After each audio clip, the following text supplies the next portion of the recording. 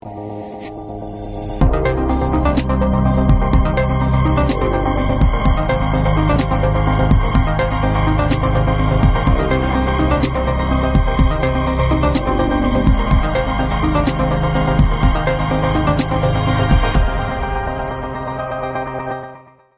Amigos de Canal 4 Videocable Chajarí, bienvenidos, muchas gracias por estar ahí, por acompañarnos. Estamos con esta nueva entrega del primer resumen de noticias en la promoción de Canal 4, el que hemos denominado Esto Sucedía. Nos acompaña en nuestro trabajo diario en las calles de la ciudad, la cámara de Juan Martín Vera, hoy también encargado de la producción del programa, edición y dirección Nicolás Pintos, dirección general de José Alberto Ponzoni y quien les habla José Lo Zapata. Estaremos en este tiempo repasando parte del contenido periodístico informativo que fuimos presentándoles durante estos días en las diferentes entregas de noticias Noticias 4. Eh, Hoy en sábado, mientras a su vez también estamos repasando lo que ha sido la programación eh, de nuestro canal que generamos en esta semana. Y vamos a comenzar con una entrevista que teníamos oportunidad de realizar a comienzos de semana a propósito de la presencia en nuestro medio de un programa proveniente de eh, Nación denominado El Estado en tu Barrio. Estuvieron durante dos jornadas atendiendo diferentes trámites de ANSES, de tarifa social, de PAMI y del registro civil entre otros, en la zona del playón deportivo del Centro Integrador Comunitario Néstor Kirchner, ubicado en la zona oeste de nuestra ciudad. En esa oportunidad hablábamos con Ana Sibori, coordinadora de la presencia del Estado en tu barrio en nuestra ciudad, que sobre la actividad que desarrollaban en nuestro medio nos daba algunas precisiones. Esto sucedía el martes en Canal 4. Gracias por la bienvenida, la verdad que la repercusión del programa está bueno, están viniendo muchos vecinos. Les comento un poquito, el programa El Estado en tu Barrio es un programa que eh, se implementa a través del Ministerio de Desarrollo Social de la Nación, se viene implementando en diferentes provincias y diferentes localidades. Eh, la propuesta es en articulación con los gobiernos provinciales y municipales. En esta ocasión, acá en Chajarí, eh, los organismos que están son ANSES, PAMI, em, tenemos también orientador, eh, orientación al trabajo, eh, gente de desarrollo social de la nación em, y digamos esto es lo que vendría a ser la gente que es de nación. Después tenemos colaboración con el municipio que está la gente de atención al vecino. Eh, y eh, salud. Bueno, ¿qué días van a estar? ¿En qué horarios van a atender? ¿Cómo viene siendo la afluencia? De, mm, el horario es de 8 de la mañana a 1, estuvimos en el día de hoy y vamos a estar en el día de mañana. Em, los vecinos se pueden acercar en el caso por ahí de DNI y ANSES, que son los que más demanda tienen. Es importante, si bien no, no damos turnos, sí hay un orden de llegada y, operativamente se entregan aproximadamente 70 números. Así que, bueno, por ahí les recomendamos que vengan un poquito más temprano de las 8 para poder asegurarse el trámite. Bueno, a medida que van llegando, cada uno... a medida que van llegando se le otorga el número y digamos, va al organismo que tiene que hacer el trámite. Eh, con respecto a ANSES pueden entregar todo lo que es las asignaciones universales. Eh, en caso de que necesiten algún turno del ANSES, tenemos colaboración de la gente de acá de la localidad que nos pueden sacar turnos para que el vecino pueda, aunque sea, si no puede hacer el trámite acá, pueda irse con el turno para hacerlo en las oficinas del ANSES. Bien, en el caso del DNI, ¿se tramita renovación, nuevo DNI? ¿Es inmediata la entrega? ¿Es este, ¿Puede ser el documento a la casa? Es renovación y, bueno, nuevo DNI. Los chicos, los menores tienen que venir acompañados de su papá con la partida de nacimiento original o actualizada es de forma gratuita y se entrega en 15 días en su domicilio. Bueno, en cuanto a orientación al trabajador, ¿esto depende del programa? ¿Es un aporte Es un aporte del gobierno de Chajarí y las chicas se están informando en relación a los programas que hay en la localidad y también hacen, digamos, toman nota de algunos datos en caso de que surgiera alguna propuesta laboral. No, es, eh, no es, digamos, una bolsa de trabajo, pero sí tienen en cuenta este tema. ¿También hay un puesto de vacunación, puede ser? Hay un puesto de vacunación que está a través del SIC, Digamos, el SIC está acá, estamos en el predio del SIC, en, Mariano Moreno y Cepeda. Eh, y bueno, están las chicas de las, chicas de salud que pueden ver las cuestiones de la entrega del formulario de asignación universal y dado, todo lo que tiene que ver con salud. Bueno, martes y miércoles en Chajarí. Martes y miércoles en Chajarí, los invito, es otra provincia, pero bueno, vamos a estar eh, jueves y viernes en Mocoreta Corrientes, que es muy próximo a la localidad de ustedes. Ana, ¿me recuerda los horarios? Los de 8 a 1 de la tarde. Compartimos una entrevista que tenemos oportunidad de realizar también a comienzos de semana, porque el fin de semana anterior tuvo lugar en nuestra ciudad la 34 exposición de ganadería, granja, industria y comercio que todos los años organiza la Sociedad Rural de eh, Chajarí. Se registraron, según pudimos relevar, buenos, buenos eh, valores en cuanto a la venta de Hacienda. En función de eso, la entrevista que realizábamos con uno de, los referentes de la actual comisión directiva de la Rural de Chajarí, eh, Raulito Aguirre, Raúl Aguirre, que se prestaba a charlar con nosotros y a contarnos algunos detalles del remate que tuvo lugar el sábado pasado en el predio ferial. Esto sucedía el lunes en Canal 4. Celo y bueno, buen día para todos. Eh, mirá, lo que fue el tema de ganado gordo, invernada que se le agregó este año, anduvieron muy bien. Yo la semana pasada, el día jueves, estuve hablando con Carlito, me parece, sí, con Carlito era, y decía unos valores y la verdad que me quedé lejos de eso. ¿Estuvieron por encima de lo que vienen siendo los valores? Por encima de los valores, de lo que estuvimos conversando. Así que yo creo que la gente quedó contenta. Bueno, compradores de la zona, como todos los años, se han sumado, esto ha llevado que bueno, eh, los precios este, se dieran como se dieran porque hubo mucha eh, demanda. Mirá, eh, había frigoríficos que vienen, viste, están siempre presentes, frigoríficos de acá de Entre Ríos, de Santa Fe, compradores locales. Así que eso hace que, sea todo mucho más fácil. Bien, Raúl, y en cuanto a precios específicos, ¿qué nos puedes decir? Y lo que recordás? Fue la vaca gorda de punta y anduvo en, llegó a un máximo de 42 pesos, que yo te digo que al día sábado es muy buen precio. No sé qué va a pasar esta semana con todos estos cambios que hay. Pero como venía, 42 pesos. No, no, valor muy bueno. Después lo que fue novillito, vaquillita, se vendió alrededor de 45 pesos. Y la invernada anduvo entre 48 hasta 52 pesos se hizo, lo que es ternero, ternera, lo livianito. Todo siempre por encima de lo que son. No, con valores muy buenos. Eh, te vuelvo a repetir, José, al día de hoy son muy buenos esos valores. No se sabe lo que va a pasar. No se sabe qué va a pasar, pero no, yo creo que va a ser el, eh, el techo de, o sea, los precios de eso. Bien, cuántos reproductores cómo anduvieron? Reproductores se vendió bien, se vendió, quedaron cuatro reproductores sin vender, cuatro o cinco, y con valores que, anduvieron entre los 50 hasta 65 mil pesos que se pagaron los Brahma de Virocay. ¿Fue lo más caro? Lo más caro. Después para abajo, un Angus, ¿cuánto más y o menos? Anduvo entre 50 53 los lo Angus. Menos de 50 no se vendió nada. Bueno, te vuelvo a preguntar, referencias respecto a lo que venían siendo los remates, si bien no, no es frecuente remates de reproductores, pero en otras exposiciones se venía trabajando en estos valores. Son, los, son los, valores que, que, se manejan por ahí, vos te vas para corriente y vale un poquito más, pero para lo que es Chajarí, muy bien. Bueno. Eh, Raúl, por último, en tu carácter de bueno, referente, de gente que andás a, diario con los precios, ¿se cierra con, un buen balance en lo que fueron los las ventas en la rural? Eh, sí, eh, yo la verdad que no hablé con los, chicos de las consignatarias, pero están, tan contentos. estuvimos el sábado de tarde un ratito y bueno, estaban, estaban contentos, sí. Vamos a compartir un pasaje de lo que fue la presentación de un mapeo de obras que llevó a cabo el municipio. Digamos, la posibilidad a través de internet de interactuar y eh, nutrirnos de información, los vecinos en definitiva de nuestra ciudad, respecto de las obras que viene ejecutando, que ha ejecutado, que están proyectadas a ejecutar por parte del gobierno de la ciudad de Chajarí. Se realizó una formal presentación de este trabajo en una conferencia de prensa que contó básicamente con la presencia de algunos medios y de funcionarios del gobierno de Chajarí. Estaba encabezando ese acto el intendente Pedro Galimberti y nosotros vamos a rescatar parte de lo que eran las palabras que dejaba a los presentes el jefe comunal de nuestra ciudad. Esto sucedía el viernes en Canal 4. Buenos días a todos, muchas gracias por acompañarnos. Eh, bueno, felicitaciones y agradecimiento a al área de informática, comunicación y obras públicas, todo importante, porque esto no tiene sentido si la obra no se realiza, estimado Luis. Es así. ¿Cuál es la idea que, queremos trasuntar a través de la presentación de este mapa de obra de la ciudad de Chacarí?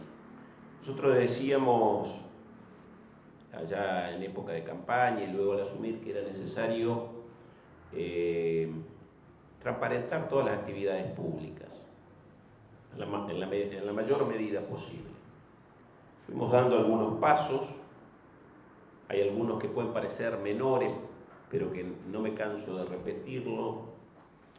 Eh, cualquier ciudadano hoy de Chajarí quiere saber cómo está la ejecución presupuestaria al 31 eh, de agosto de este año, ingresa a la página del gobierno, no sé si está en, el ítem de transparencia o normativa o en los dos está cargado, y lo encuentra. Y esto hay que ponerlo siempre en perspectiva. Hasta el 9 de diciembre del 2015, cuando un vecino quería pedir, tenía que ir a, este, hacer una presentación al Consejo Deliberante este, para que haya un informe, y algún pedido de informe, exista alguna contestación a esto, o cuando el Ejecutivo cada dos o tres meses iba mandando este, lo que era la ejecución presupuestaria. Bueno, esto hoy no digo que es día a día, pero la verdad es que pasado cuatro o cinco días hábiles del mes vencido, cualquiera, cualquiera de los integrantes, en definitiva de esta organización, que es la Municipalidad de Chajarí, donde no solo está el intendente y funcionarios y todos los empleados, sino también están los vecinos que son integrantes, porque votan porque viven en esta ciudad y porque además mes a mes nos, abonan la tasa eh, en relación a alguno de los tantos ítems que maneja el municipio. Por eso es importante que todos los conozcamos. Esto no se trata únicamente de una tarea para decir, bueno, acá somos los más transparentes. La idea es que todos los que participamos en esta ciudad, de una u otra manera, en la función que nos toca, porque somos vecinos, ciudadanos, o porque estamos ocupando algún cargo o porque somos empleados de este municipio, estemos al tanto de cuáles son las cosas que están pasando. Hace unos días mm, veía alguna, alguna muestra que eh, nos indica que al menos 7 de cada 10 personas de manera diaria ingresan a las redes sociales. Esto es una buena manera de comenzar a que este vínculo y de que esta tecnología, que a veces se dice que puede ser perjudicial para algunas cosas, pero que es sumamente importante para otros, nos acerque a nosotros los chacarienses, no solo en la relación eh, gobierno-vecino, sino también que a nosotros nos sirve para, para, controlar e, insisto, para poner en perspectiva, porque a veces las cosas pues ya no nos acordamos qué gestión se hizo, cuándo, en qué momento, con qué fondos. Bueno, acaba de quedar una documentación y nos va a permitir además como siempre digo, a nosotros como municipio, como organización administrativa de los chacarienses, mejorar. A eso apuntamos, a tener un control eh, cuanto más público mejor y a que nuestros vecinos lo tengan a un clic de distancia, como se dice hoy, este, en virtud de lo que es el manejo de las redes, conocer algunas de las cosas que se están haciendo en esta ciudad o las que se hicieron no hace mucho tiempo. Una vez más, insisto, felicitar a, Gustavo allí desde el área de comunicación y a, Guido del área informática, por supuesto a Luis, que se ha tomado su tiempo para detallar algunas de estas cosas, y en ustedes, a cada uno de los equipos que han trabajado. esto ya está disponible a partir de hoy, ¿no? Es así, está disponible, así que van a poder ingresar nuestros vecinos y, y ver alguna de estas cosas. Y por supuesto, si tenemos algunos errores, como se trata de un nuevo plan, de un nuevo programa, perdón, este, lo tendremos que ir corrigiendo, ojalá que sea lo menos posible, pero eh, muchísimas gracias eh, a, a, todos los que han trabajado en esta, en esta iniciativa, que como lo decía Gustavo, la verdad que para municipios de nuestra cantidad de habitantes es eh, pionera y tiene que ver básicamente con esta idea que trajimos al gobierno de que la publicidad de los actos de gobierno, en toda su expresión, debe ser la más amplia posible. Gracias.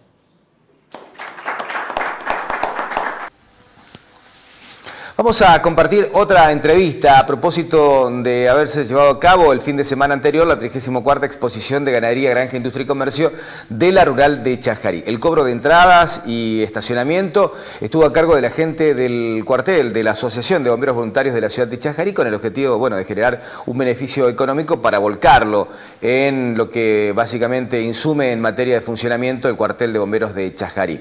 Después de eh, haber llevado a cabo esta tarea, tuvimos oportunidad de hablar con dos de los integrantes de la Asociación de Bomberos de Chajarí que nos hablaban sobre el beneficio que dejó eh, el cobro de entradas y estacionamiento de la última edición de la Rural, como así también de una asamblea general ordinaria que estaba previsto llevarse a cabo este viernes. Esto sucedía el jueves en Canal 4.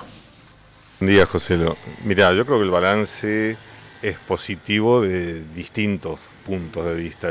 Yo creo que lo primero que tenemos que rescatar como positivo es la excelente disposición de toda la gente que vino a colaborar con nosotros, que eh, llegaron gracias a que ustedes nos permitieron convocar a todos estos colaboradores. Creo que es el capital más enorme que hemos logrado en, este beneficio. ¿Cuánta gente trabajó? Eh, creo que 60 personas más o menos. Eh, creo que quiero decir que ese fue el capital más grande, más allá de lo económico, el haber conocido un grupo de personas tan lindas, tan sanas, tan dispuestas a colaborar con una institución como la nuestra, creo que eso es lo, rescatable por encima de lo económico. En cuanto a lo económico, era más o menos lo que se podía suponer. No tenemos todavía la cifra final porque aún no tenemos la liquidación, que creo que la tendremos el día de hoy, pero creo que andaremos alrededor de los 80 mil pesos. Bueno, Gustavo, ¿el beneficio de ustedes era un porcentaje de la entrada y el estacionamiento o simplemente el porcentaje de la entrada? No, no, no, como vos lo decías, es el 8% de todo lo recaudado, ya sea del estacionamiento que era 50 pesos y las entradas mayores y menores que eran menores 20 pesos y mayores 100 pesos. De eso nos correspondía a nosotros el 8%. ¿Tiene fin específico este beneficio? Ah, como siempre decimos, vamos va todo el dinero recaudado de beneficios y, rifa, bono y el aporte voluntario va a un fondo, a un fondo común, a la cuenta y de ahí se va disponiendo cuáles son las necesidades que el cuerpo activo nos van planteando nosotros y a medida que nosotros podemos vamos, vamos adquiriendo, siempre eh, contra reloj, porque con esto del aumento del dólar y, el equipamiento de bomberos, como sabemos, es todo a valor dólar, eh, vamos en contra reloj porque vive aumentando y a veces nos encontramos ahora que no, hay equipamiento, no hay cosas para adquirir porque están todas este, esperando a ver qué va a pasar con la economía del país, pero, pero sí va a pagar este, qué sé yo, el combustible, batería, cubierta, equipamiento, mantener eh, la institución en pie, que no nos cuesta, nos cuesta dos pesos mantener lo que hoy tenemos, que a veces por ahí la comunidad no se da cuenta de qué es lo que es Bombero Chajarí hoy y se pregunta para qué queremos tanto dinero. Es justamente para esto, para mantener nueve vehículos funcionando y toda la estructura que, es hoy Bombero Chajarí. ¿no? Eh, Julio, justito se da esto en el marco de una transición de comisión directiva, están convocando a asamblea para renovación. Eh, eh, contanos cuándo se va a dar la, asamblea, están necesitando el acompañamiento de la comunidad, de la gente, que se sume al trabajo que vienen ustedes realizando desde la asociación. Sí, por supuesto, José. el día de mañana tenemos la asamblea, la convocatoria está en los medios de prensa, está en el boletín oficial. Sí, es un momento de cambio, creo que sería bueno que se acerque toda la gente que quiera eh, acompañarnos y formar parte de la nueva comisión, que ojalá podamos tener una concurrencia necesaria como para darle oxígeno a esto y que no seamos siempre las caritas repetidas. Eh, no tenemos inconveniente, tenemos la voluntad de trabajar por esta institución como lo venimos haciendo desde hace muchísimos años y en forma desinteresada pero caras nuevas, ideas nuevas, oxígeno es lo que las instituciones necesitan. Máxime en esta que es demandante porque no es solo eh, lo edilicio que vos ves, acá hay un grupo enorme de voluntades de hombres, mujeres, de jóvenes, de niños que vienen a que se capacitan, que se preparan, que no están en la calle, que encuentran contención, pero que encuentran eh, un lugar donde desarrollar su vocación, la que es servirle a la comunidad. Entonces, creo que todo aquel que tenga ganas de participar eh, de la nueva comisión directiva, eh, se lo vamos a agradecer. Cuando, digamos, mañana decías a qué hora es, aquí en la sede? Mañana es, mañana viernes 14 a las 20 horas, con obviamente media hora, 30 minutos de tolerancia. A partir de ese momento se dará inicio a la, a la asamblea. Eh, como bien decía Julio, el beneficio del fin de semana pasado nos ha permitido a nosotros eh, conocer o, ver gente que nunca pensábamos que quizás quería colaborar con Bombero y lo hizo. Y de hecho esas personas, algunas de esas personas van a estar formando parte de la comisión directiva el, viernes a partir de mañana. Y como lo decía Julio también, agradecer eh, a todas las personas que, han colaborado en esto del beneficio y al bombero, porque hay, hay bomberos que han estado eh, a cargo del estacionamiento viernes, sábado y domingo y a partir, aparte de sus tareas también han estado colaborando desinteresadamente por el cuartel y han dedicado su tiempo. ¿no? Como decía Julio, mañana a partir de las 20, 20, 30 horas se dará inicio a la asamblea eh, con renovación total de autoridad y aquel que quiera, que quiera eh, venir a acompañarnos, este, está la invitación cruzada. Muchas gracias. El gobierno de Chajarí, a través del área de medio ambiente y en coordinación con las comisiones vecinales, está eh, organizando, organizó en realidad, porque esto se llevó a cabo el sábado, eh, una serie de actividades eh, en el marco del Día Mundial de la Limpieza. Nosotros estuvimos hablando con referentes del gobierno de nuestra ciudad, Griselda Quintana, algunos concejales y también algunos integrantes de las vecinales, que nos explicaban sobre las actividades que tenían previsto llevar a cabo en materia de limpieza en diferentes sectores de nuestra ciudad. Por un lado, para lograr el objetivo en sí mismo, la limpieza de algunos espacios públicos, pero por otro lado también para avanzar en cuanto a la concientización, la importancia de la participación vecinal, ciudadana, en mantener en buenas condiciones la eh, ciudad, los espacios públicos de nuestra eh, ciudad. Vamos a compartir lo que nos decían entonces eh, a raíz de estas actividades por el Día Mundial de la Limpieza. Esto sucedía el viernes en Canal 4. Buenos días, sí, vamos a estar trabajando no solamente con las comisiones vecinales de 15 barrios, digamos, de la ciudad que han confirmado realizar la campaña del Día Mundial de la Limpieza, sino que también vamos a trabajar con diferentes áreas municipales, con el intendente también, que el doctor Pedro Galimberti, y sus concejales del bloque de Cambiemos. Bueno, ¿en qué consiste esta actividad? Eh, ellos, digamos, todos los que nosotros vamos a sumar en la campaña, que hasta ahora son 240 voluntarios, eh, lo que se va a realizar es limpiar los espacios públicos, recolectar todos los residuos que tengan que ver justamente con los espacios públicos, no en sí ni en terrenos privados ni en domicilios particulares, pero sí eh, todo lo que conlleve a lo que se encuentre en, vía pública. Bueno, ¿lo van a hacer de manera simultánea? ¿En qué horarios? Este, ¿Habrá equipos, digamos, en cada barrio? los barrios, digamos, ya han dispuesto sus horarios, no eh, van a ser en toda forma simultánea, sino que algunos van a comenzar a partir de las 8 de la mañana y así durante el día hasta las 5 de la tarde, que es lo que finaliza. Cada grupo, digamos, de limpieza colocó un horario donde ellos pueden realizarlo, así que con eso, digamos, nos manejamos. Bueno, ¿Hay posibilidades de acceder a, los horarios para que la gente sepa en su barrio a qué hora van a estar trabajando, más o menos? ¿Lo maneja cada comisión vecinal? Cada comisión vecinal va a tener, digamos, el recorrido y los puntos de encuentro y los horarios que comienza cada barrio y también se van a dar a conocer. También hay una rodante donde está pasando por estos diferentes barrios para que pueda informar que el vecino que quiera sumarse a realizar la campaña puede hacerlo. Bueno, perfecto. Mauricio Gallo, vos sos referente barrial, digamos, sos presidente de comisión vecinal, ¿cómo te va? ¿Qué tal? Buenos días, José. Representando sí particularmente al barrio Pinar y en general a todas las comisiones barriales.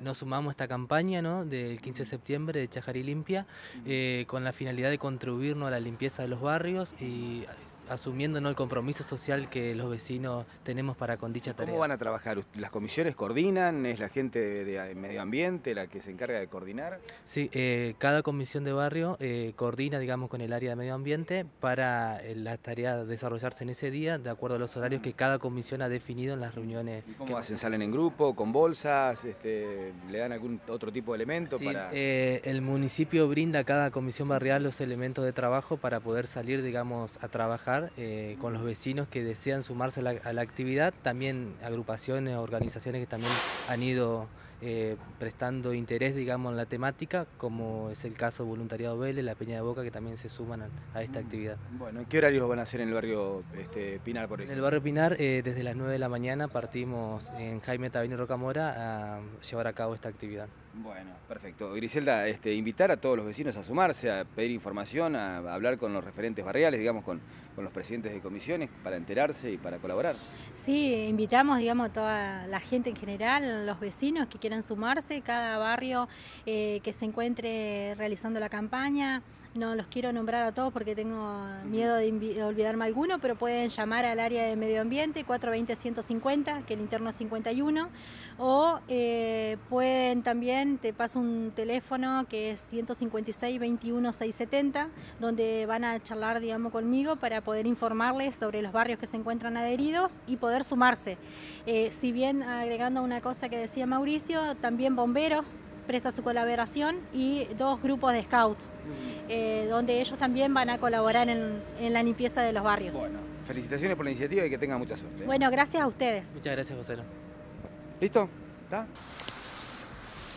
Compartimos una entrevista que tenemos oportunidad de realizar eh, también a comienzos de semana con el farmacéutico José Eduardo Berta, referente del Círculo de Farmacéuticos de nuestra eh, ciudad, de nuestro departamento, a partir de algunas informaciones que hablaban que eh, el PAMI viene complicado en cuanto al cumplimiento de los contratos con las cámaras farmacéuticas a raíz de bueno, los aumentos que han este, experimentado en este último tiempo los medicamentos y demás. Eh, por eso nos pareció interesante eh, conocer la perspectiva que se tiene desde nuestra ciudad, básicamente respecto de esta cuestión, si puede acarrear o no puede acarrear inconvenientes en el corto, mediano y largo plazo para los afiliados a esta importante obra social en cantidad, en lo que hace al volumen de gente que, mm, bueno, este, está eh, de alguna manera resguardada por el PAMI. Vamos a compartir lo que nos decía entonces el farmacéutico José Eduardo Berta sobre este tema. Esto sucedía el martes en Canal 4. La situación hoy es normal eh, en el expendio de medicamentos a los afiliados del PAMI. Eh, lo que sí no está bien está el, el problema surge en el desfasaje del acuerdo entre el PAMI y todo el sistema de, provisión de medicamentos, la industria farmacéutica y los, las farmacias, porque obviamente los parámetros económicos no eran los mismos en aquel entonces que ahora. Se disparó. Inflación, dólar, acordate que tenemos eh, laboratorios internacionales en el convenio, y fueron los laboratorios nacionales los que dieron el primer pie a fin del mes pasado mandaron una carta de documento al PAMI que rescindían el convenio. Por lo tanto, eh, la rescisión tenía 60 días de vigencia, o sea que para fines de octubre recién es, entra en vigencia la suspensión del contrato. Por parte de la, los propietarios de las eh, industria ah, argentina, la industria local. También disparó una nota de los propietarios de farmacias, farmacéuticos y las, las farmacias sindicales al PAMI, eh, pretendiendo una reunión para acordar nuevos parámetros, ¿sí? que en esta semana se está haciendo. ¿sí? Em, el PAMI no está ajeno a la, a la variación de los parámetros, así que obviamente esperemos que todo se solucione y que el 13, el 13, a partir del 13 tengamos nuevas novedades. A partir del 13 de, este mes, digamos, sí, en, días nomás. Sí. Porque se hablaba de un, del 11 de septiembre como fecha límite para, mm, este, en todo caso, definir si se seguía aceptando o no se seguía aceptando PAMI por parte de la farmacia. No, no, no, no, no, no. El 13 era una reunión y sabes que a ese nivel son reuniones sucesivas que se van, se evalúan las propuestas, se vuelven, se vuelven a reunir, vuelven a tener otras propuestas, que sí, que no, este punto sí, este punto no, vamos a rever esto y demás. Eh, es un eh, ida y vuelta, sí, que ojalá sea lo más corto posible para visualizar una atención eh, que siga normal para la, la, afiliada del PAMI. Hoy es normal. Bueno, ¿ha sucedido algo así en tiempos pasados, con tu experiencia? Como farmacéutico se vivió momentos así en donde hay, bueno, dudas respecto a la continuidad o no del convenio? Eh, siempre hubo dudas, pero siempre hubo la, eh, la voluntad de tanto la, la parte de, de, los farmacéuticos en, en, seguir, así que de ninguna manera puede estar eh, obviando esa voluntad PAMI. Así que imagínate, PAMI es la obra social más grande de Sudamérica tiene una cantidad de afiliados importantes, aunque hoy en día quieran, eh, digamos, eh, bajar los costos, los costos no son, eh, digamos, bien vistos si el, el, abuelo tiene que pagar más medicamentos. Hoy en día está, el abuelo está pagando medicamentos con precios de febrero, más un pequeño porcentaje, y el precio se disparó. Nosotros de un medicamento que, vendemos, que compramos para vender a, a 100, Sí, PAMI nos reconoce 80, 75 pesos como precio máximo. Entonces, a 85. No me acuerdo la relación hoy en día, más con la disparada, ¿sí? porque se disparó el medicamento a la inflación y PAMI sigue con precios máximos constantes. O sea, no es negocio para la farmacia agarrar, vender eh, precios de PAMI. Todas las farmacias de Chajarí están en la misma situación. Sí, sí, sí, porque acá en, en Chajarí hay farmacias de, de, la COFA, la Confederación Farmacéutica, y de la, eh, de la Cámara de Propietarios de Farmacia, de los dos.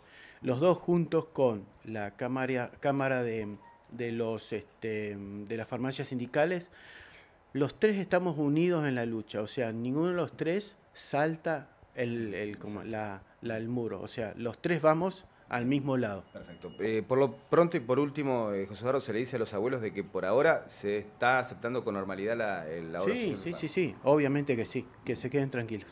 Muchas gracias. Establecemos la primera de las pausas, estamos con nuestro resumen semanal de noticias, el primer resumen de noticias en la programación de Canal 4 que se emite los sábados mientras estamos repasando parte de lo que ha sido la programación que fuimos acercándoles durante estos últimos días, toda programación que se genera aquí en Canal 4. Se impone la primera pausa, a la vuelta continuamos con más, esto sucedía. Divox te acerca el mejor entretenimiento en alta definición, con contenidos pensados para toda la familia. Sí. Si sentís la adrenalina tras pasar la pantalla, si tu corazón se acelera con cada jugada, si te reís con esos personajes que ya sentís parte de tu familia y te emocionás con ese momento. Si querés aprender, mantenerte informado o simplemente distraerte. Porque sos de los que siempre buscan más, en Divox sumamos nuevos canales con la mejor calidad de imagen y sonido. Y prepárate, porque todavía queda mucho más. Elegís Divox, elegís ver más.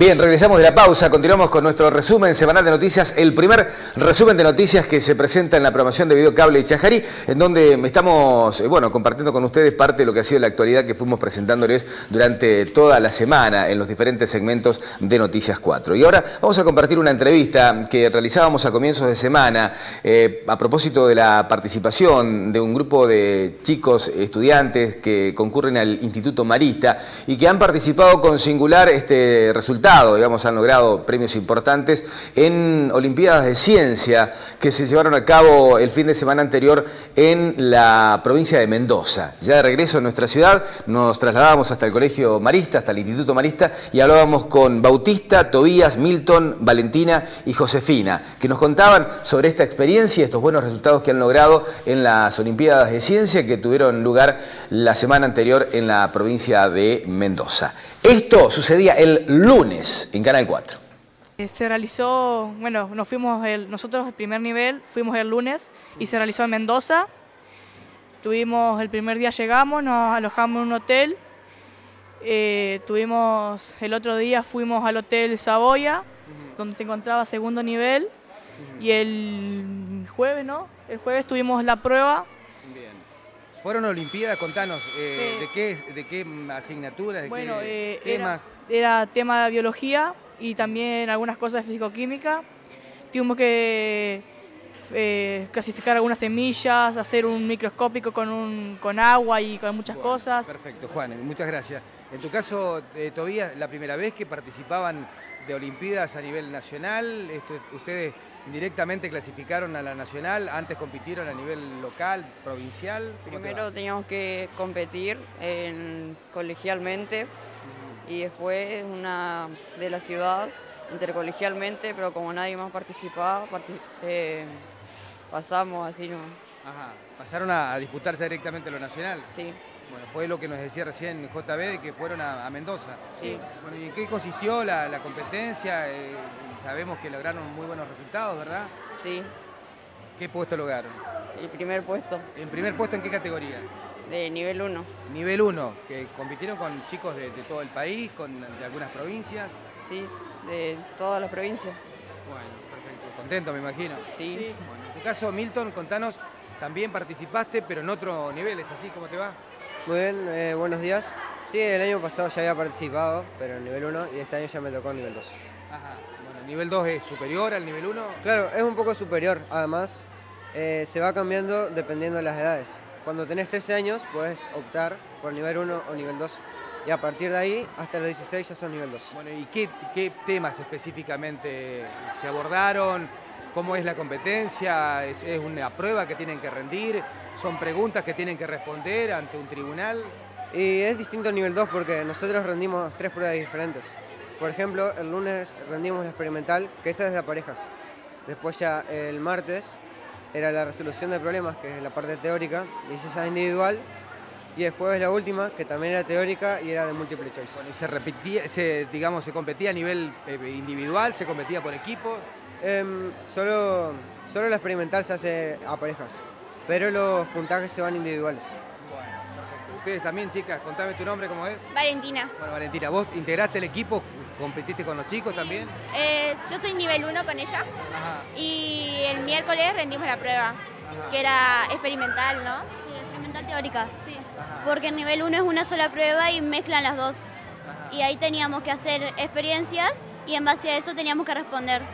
Era con múltiple choice. Bueno, y le salió muy bien. Sí. ¿Eh? Esta, esta competencia, digamos, ¿tiene otra instancia? ¿Se quedan con el- el primer puesto a nivel nacional? ¿Tienen la posibilidad de seguir avanzando? Y en nivel 1 en, eh, ese caso sí, pero ya en nivel 2, en los primeros puestos o en casos también los segundos, se seleccionan 7-8 y van a, las- a los internacionales, que siempre se realizan en países donde tienen alguna problemática ambiental. Por ejemplo, este año en Sudáfrica. El año pasado, el año pasado fue en Holanda. Ajá. Bueno, ¿y ustedes tienen posibilidades de, de ir más arriba? Sí, sí, si nos podemos preparar bien, ya el año que viene, compitiendo en segundo nivel, si salimos segundo o primero, podemos, podemos clasificar a las internacionales, donde ahí la universidad eh, te, eh, te paga los viajes para que vayas un, un fin de semana al mes para entrenar. Y en el caso de ustedes, Tobías, que ganaron la- el nivel 1, el año que viene van, si pueden, compiten ya por el nivel 2. Sí, por la edad. Bueno, ¿Con ganas de participar el año que viene? Y mazo, para mí mazo, pero sí, yo quiero unirme. Bueno, eh, ¿trabajaron solos?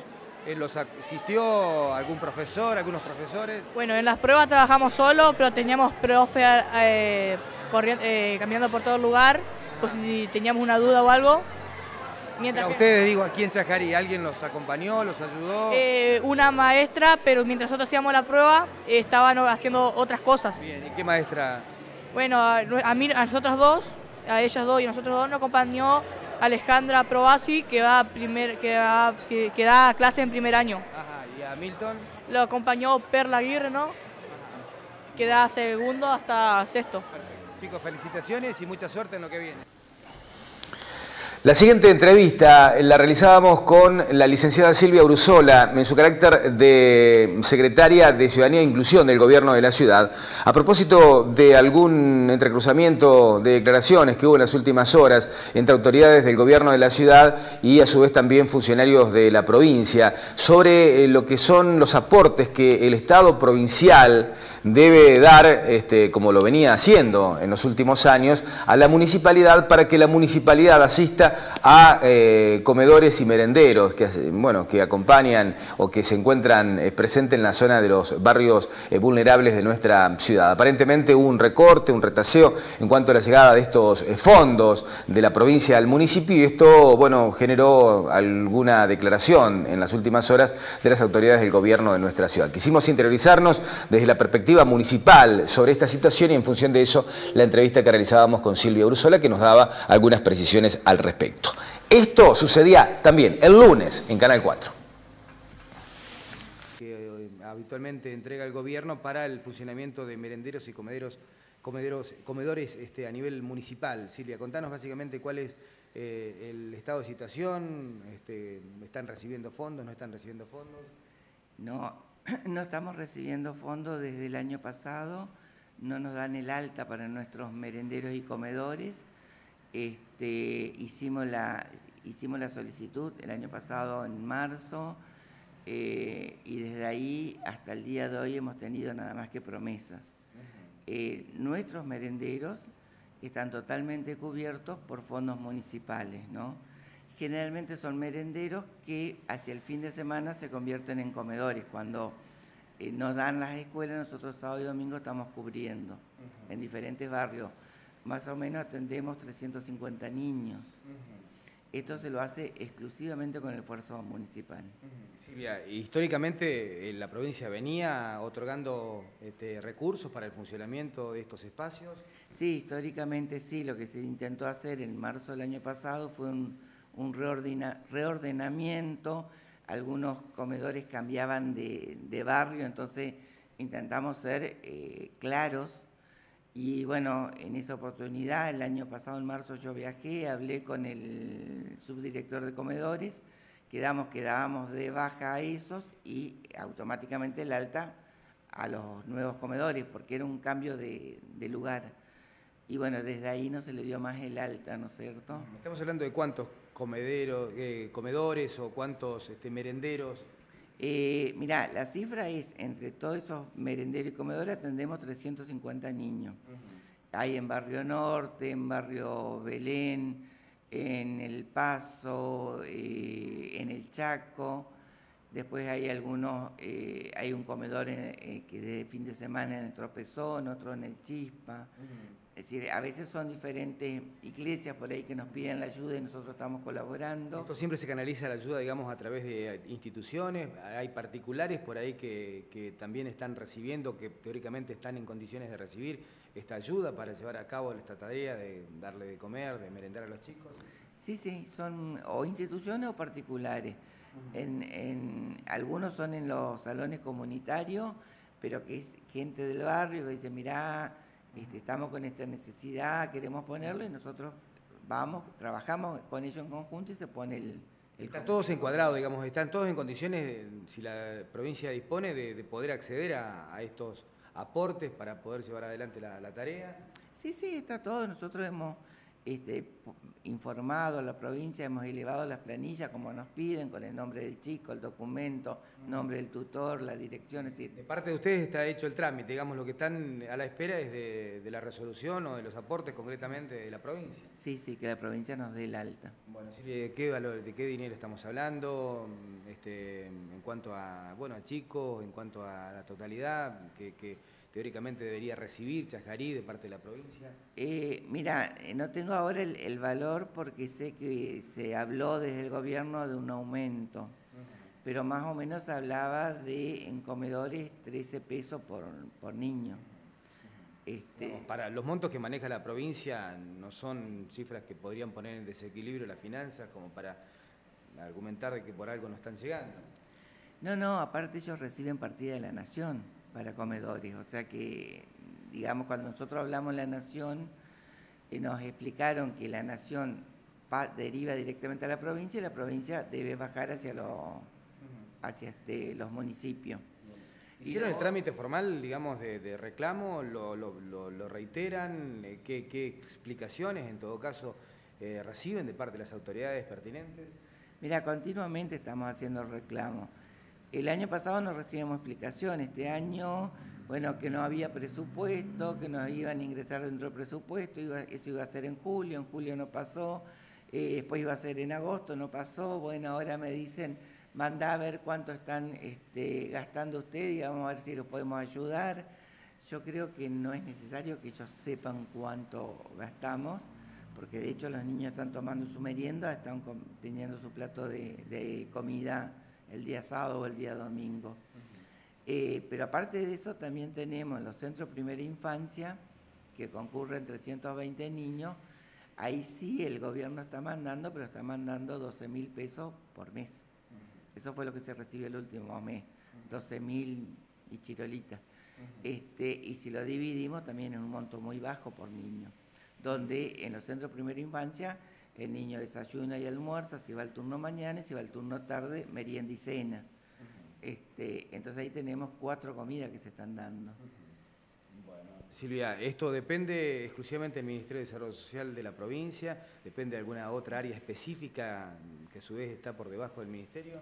Sí, sí, depende del área de comedores de la provincia, que a su vez depende del Ministerio de Desarrollo Social de la provincia. La traba, entienden, básicamente está en, Paraná. Eh, ¿O hay alguna dependencia aquí a nivel este, departamental que tenga injerencia en estas decisiones? Sí, hay una dependencia departamental, pero yo creo que la traba está básicamente en Paraná, en la subdirección de comedores. Bueno, Mientras tanto, la situación eh, eh, se pone en riesgo de los comedores con este panorama o hasta tanto en cuanto la provincia pueda resolver o ustedes puedan conseguir que la provincia resuelva el tema, se está asegurando la partida tanto para o el funcionamiento tanto de los merenderos como de los comedores. No, la decisión del señor intendente que los merenderos y los comedores tengan su partida, este, sea como sea, podremos a lo mejor eh, retirar de otro lugar el dinero, pero nosotros no podemos dejar a los niños sin su alimentación. Muchas gracias. Vamos a compartir una entrevista que realizábamos sobre final de semana, porque un grupo de intendentes de la provincia de Misiones, de la zona de Campo Viera, estuvieron sobre el fin de semana eh, este, eh, visitando nuestra ciudad a iniciativa de alguna invitación, inclusive cursada por gente eh, de nuestro medio, el senador Miguel Piana, que ha viajado en más una oportunidad a esa zona de la provincia de Misiones, ha establecido contacto y esto ha permitido que los intendentes eh, vinieran a nuestra ciudad para interiorizarse sobre el funcionamiento de algunas economías regionales. Había cuenta de que, bueno, están lógicamente eh, tratando de expandir eh, lo que es la generación de recursos a partir de la producción que se genera en esa parte de la provincia de Misiones, reitero, cercano a la localidad de Campo Viera. Estuvimos hablando nosotros en su paso por Chascarí respecto de, bueno, el motivo que los tenía por nuestra zona a estos jefes comunales de la provincia provincia de Misiones y vamos a compartir lo que nos decían al respecto. Esto sucedía el viernes en Canal 4 de lo que están realizando en, nuestro, en nuestra ciudad. ¿Qué tal, Miguel? ¿Cómo le va? Buen día. Sí, buen día. Nosotros habíamos ido con el intendente Coco Balcase y Alcides Miño a Campo Viera para ver cómo era la, la producción de, de, la cría de pescado que tienen ahí y bueno, este Gentilmente lo hemos invitado para que nos visiten, pero ellos tienen una organización de municipios de Misiones y de Paraguay, así que gustosamente los recibimos acá en Chajarí. Está el intendente de Campoviera, está el intendente de Aristóbulo del Valle, eh, la señora representa 30 municipios de Paraguay este, y el señor representa... Sí, y técnico de de, Carmen del Paraná del Paraguay. Bueno, perfecto. Le vamos a preguntar. Bienvenido, su nombre, ¿cómo le va? Eh, muy bien, eh, Juan Carlos Río, intendente del municipio de Campo Vira y actual presidente del bloque regional de, de intendente del... Ubíquenos un poquito geográficamente, Campo Viera, ¿en qué parte de la provincia de Misiones está? ¿Cuántos habitantes tiene? Básicamente, ¿a qué se dedica la, gente? Campo Viera está a 120 kilómetros de la ciudad capital Posadas, eh, nos ubicamos en la zona centro de la provincia, a, 20 kilómetros de la segunda ciudad más importante de la provincia, que es Oberá. Eh, fiesta, Nacional del Inmigrante de Soberá, Campo Viera es, sede de la Fiesta Nacional del, Té. Así que, bueno, eh, de 12.500 habitantes. su producción madre es té, el mayor asentamiento industrial tealero de la provincia está en el municipio de Campo Viera. Le pregunto, Intendente, eh, ¿qué, andan haciendo por nuestra zona? ¿A raíz de qué se da esta visita? Bueno, nosotros hemos trabajado mucho con pequeños productores eh, en las alternativas productivas. Tenemos muchos productores que son feriantes, que trabajan en distintas este, producciones, la piscicultura, la ganadería en baja escala, cría de cerdos, de ello van los derivados chacinados, los feriantes, y la idea de esto es eh, sacar la experiencia que tiene Chajarí eh, sobre venta de productos regionales sobre la ruta nacional, en donde vemos que, que su capacidad, su experiencia de marketinera es muy importante para la comercialización y eh, nuestros productores por ahí son gente más de trabajo, de la chacra, producen bien, pero no son buenos vendedores. Entonces le queremos eh, capacitarlos y mostrarles las experiencias para que el rubro del turismo sea una línea de mercado más para ellos. Bueno, perfecto, muchas gracias. ¿Tu nombre cómo le va? Sí, Margarita Lovera Amarilla. Soy la secretaria general de la Asociación de Intendentes de Itapúa, que une 30 municipios e intendentes de Itapúa, ¿verdad? Y nosotros... es un departamento, es una región de Paraguay. Sí, es, como acá una provincia, ya es un departamento, ¿verdad? Cruzando frente Posada mismo. ¿Qué ciudades están en el departamento de Itapúa? Y Eh, los 30, ¿querés saber? No, algunos de... Encarnación, en este momento me están acompañando representantes del municipio de Carmen y también del municipio de Bellavista, que son los representantes del Consejo de Desarrollo Distrital, que se crean los consejos que de, varias áreas que vienen trabajando, ¿verdad? Y nuestra área de producción tenemos varias ganadería, agricultura. ¿Han venido con productores de, la zona? No, venimos con un representante del consejo, porque cada municipio tiene un consejo de desarrollo distrital, se llama, que están varios, varios técnicos, varias áreas, y ahí ellos trabajan en, en las distintas áreas. Y para eso venimos acá a compartir, porque estábamos viniendo a trabajar con un tema Mercosur regional, con toda la asociación de de la provincia de Misiones y parte de Brasil, que el coordinador nos invita acá al Juan Carlos Río, que es el intendente de Campo Viera. Perfecto, bienvenida, que tenga mucha suerte. ¿Su nombre cómo le va también, intendente, verdad? Eldor Ut, intendente de Aristóbulo del Valle. Aristóbulo, eh, la misma pregunta, ubíquenos geográficamente para que... nosotros estamos ahí a 35 kilómetros de Campo Viera, estamos en el centro de la provincia y de alguna manera siempre con el intendente de Campo Viera, Juan Carlos Río, que es el, el presidente del BRIPAN, del bloque de intendentes del Mercosur, que de alguna manera siempre llevan adelante este tipo de programas vinculados con otras actividades, ¿no es cierto?, para que, nuestros productores tengan la posibilidad de también conocer este, en, la, metodología que trabajan otros pequeños productores, que nosotros podamos aplicar la, tecnología en, pequeñas escalas, que para nosotros es muy importante, y lo que decía recién el intendente, ¿no es cierto?, la posibilidad de la, venta, que es lo, lo más importante muchas veces la este, la, producción está, pero el, pequeño productor por ahí no, no, tiene la capacidad ¿no cierto? de comercialización y esto es una gran posibilidad para, cada uno. ¿Qué se produce básicamente en la zona de Aristóbulo del Valle, lo mismo que en Campo Viera? Y nosotros básicamente también estamos trabajando mucho con, este, con la producción primaria. La siguiente entrevista la realizábamos a comienzos de semana con la subcomisario Silvina Moix, quien estuvo a cargo de la comisaría número uno de nuestra ciudad en los últimos días y tiene que ver con algunos hechos delictivos que se conocieron eh, y sucedieron eh, sobre mm, eh, bueno, el fin de semana anterior. Una entrevista en donde Moix nos brindaba precisiones al respecto ante nuestras consultas. Esto sucedía el lunes en Canal 4. Partir del día jueves ya estuvimos presentes ahí en lo, que es la sociedad rural, realizando operativos en la, en la zona y en los ingresos a la ciudad y no hubo este, ningún hecho delictivo que haya ocurrido ya sea dentro de la sociedad rural o en las inmediaciones.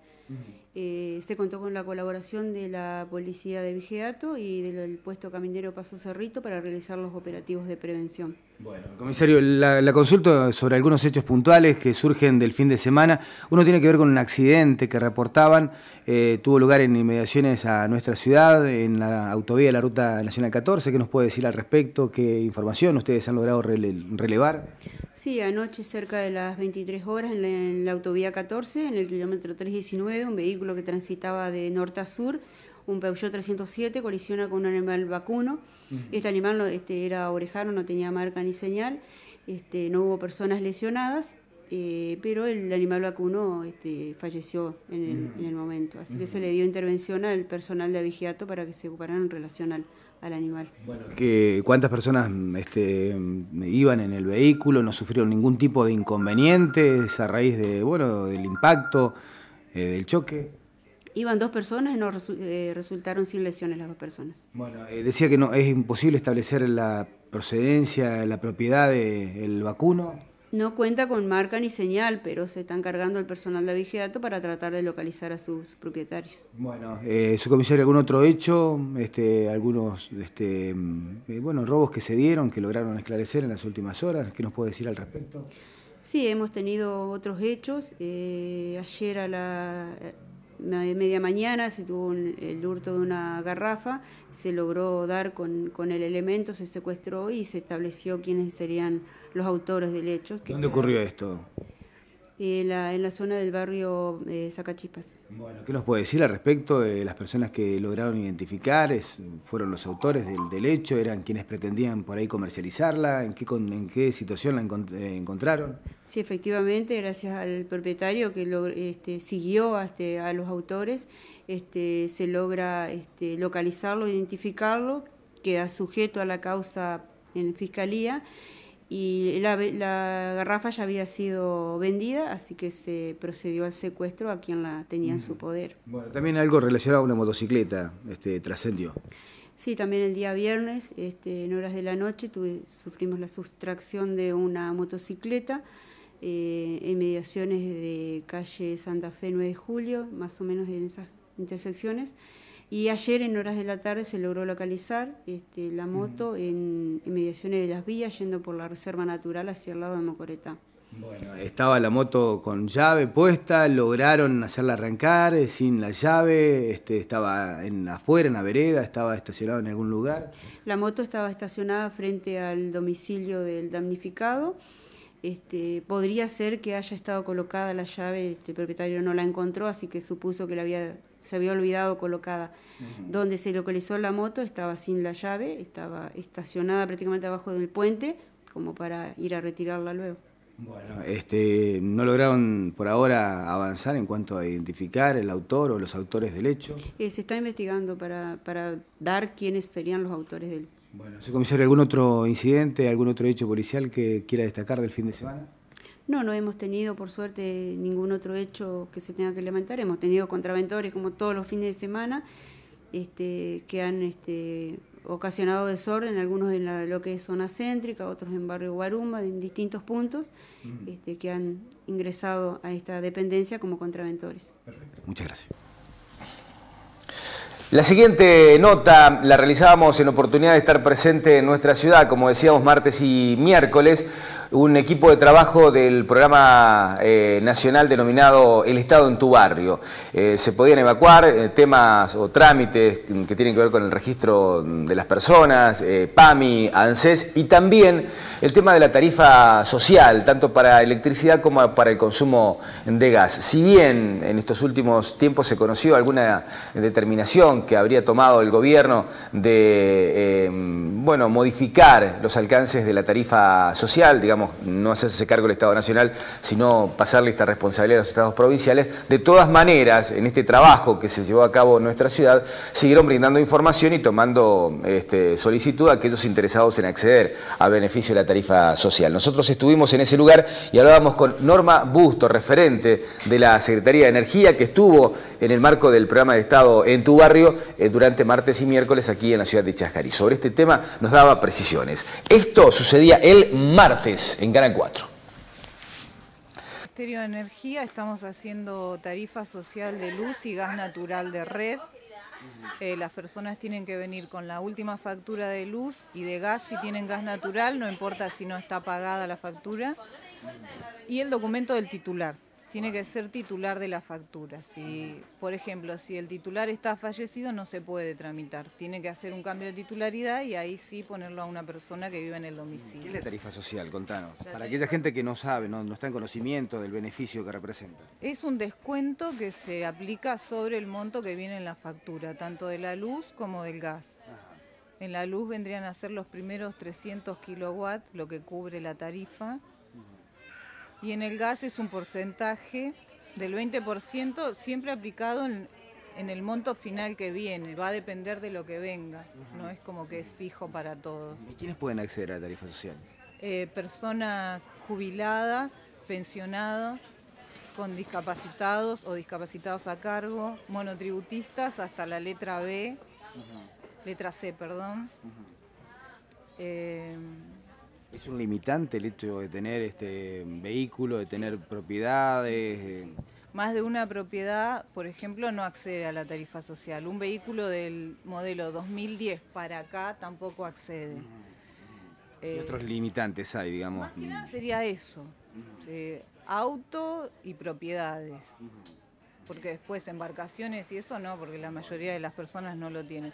Lo que hace al consumo, el consumo 300, 400, 500, ¿puedo acceder si reúno estos requisitos a la tarifa social o si consumo en demasía por ahí es un impedimento? No, no, no, no, lo va a cubrir la tarifa, pero la, tarifa va a cubrir solamente los primeros 300. Si se pasa de eso, no lo va a cubrir.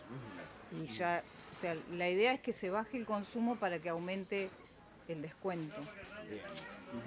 Eh, y las personas, estaba con lo de las personas que pueden acceder. Las personas que en blanco cobren menos de 19 mil pesos también acceden. Si se pasan de ese límite en blanco, no acceden ya a la tarifa social.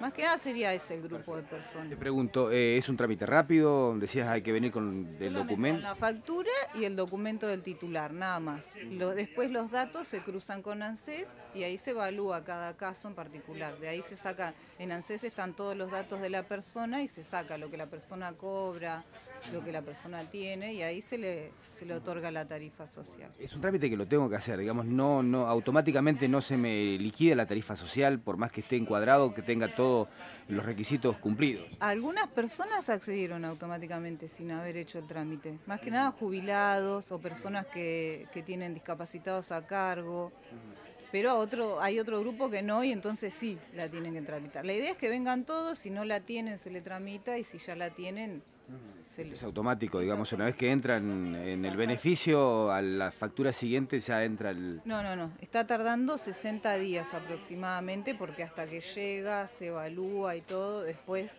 60 días es lo que está tardando en salir. Te pregunto por último porque se ha hablado en estos últimos tiempos respecto de que el gobierno este, sacaría los beneficios de la tarifa social. ¿Ustedes tienen información?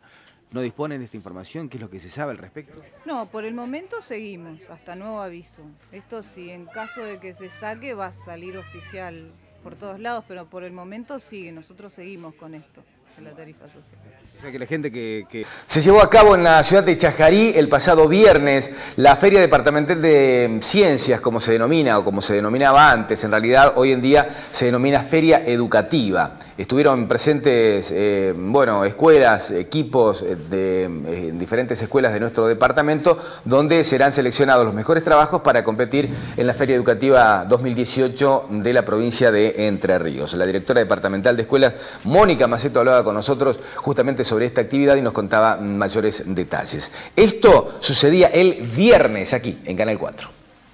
la feria educativa departamental.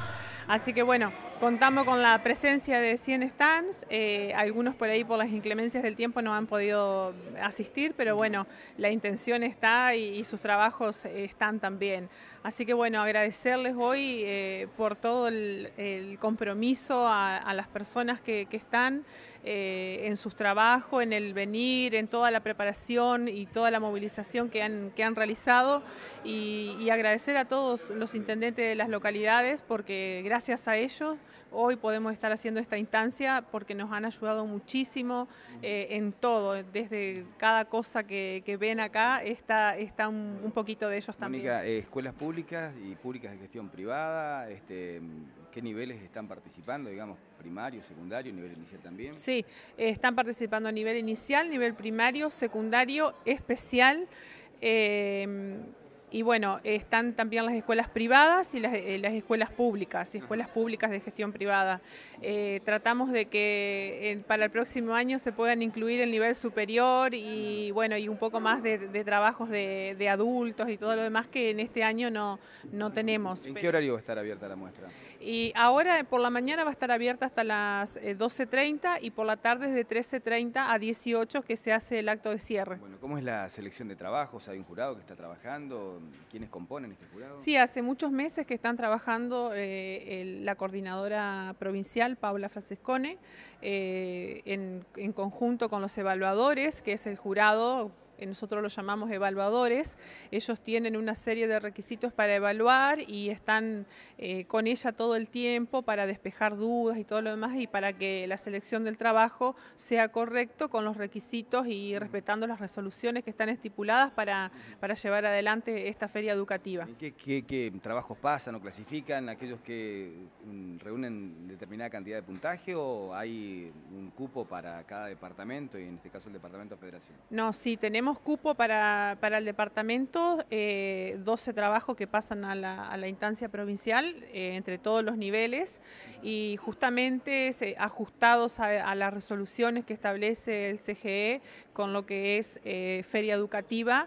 Eh, obviamente uno tiene que respetar una serie de requisitos y se hacen diferentes puntajes, depende de diferentes formas, de, de, las presentaciones, las carpetas de campo, la presentación, el interés que, que puede producir en, en la comunidad del trabajo a desarrollar. Bien, este, mm, de- la, la instancia provincial, ¿cuándo se hace? ¿Ya está confirmado? ¿Dónde se hace? Sí, la instancia provincial se realiza en Gualeguaychú el 3, el 4 y el 5 de octubre, así que bueno, nuestros chicos nos, nos estarán re- representando a nivel departamento ahí. ¿Hoy mismo se conocen los ganadores? Sí, hoy mismo se conocen los ganadores, así que se van a hacer las menciones a, aquellos chicos que pasan a la instancia provincial.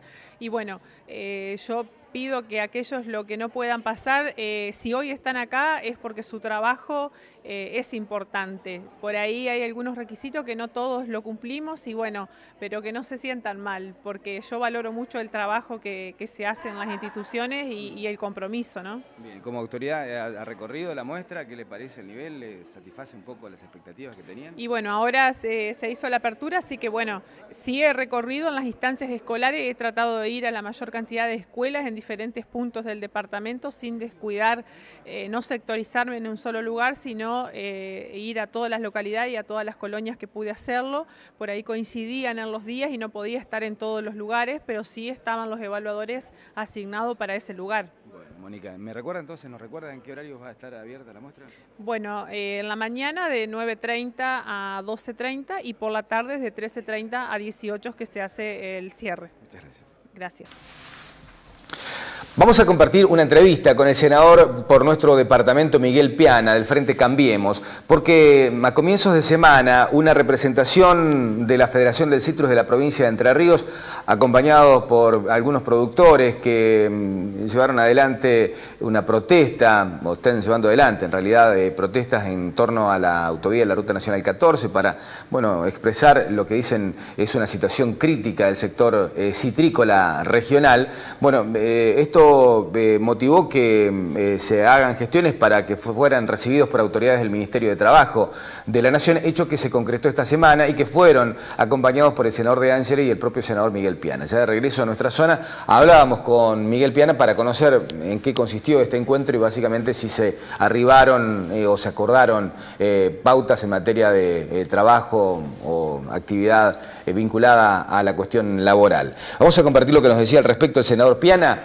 Esto sucedía el miércoles en Canal 4. Este, fuimos eh, por, la parte de los citricultores, de los que se venían manifestando estos últimos días, fue la FECIER, eh, Fernando Borgo, el contador eh, Grigolato, Alberto Grigolato, fue William Borgo, que uno de los chicos que están ahí, este, Alfredo De Angeli, eh, Alfredo Bell y yo. Eh, en principio este, no, entramos mal, entramos mal porque eh, tenía que recibirnos Triaca y se descompensó, estaba, eh, lo habían llevado ya a la mañana, pero ya nosotros estábamos allá.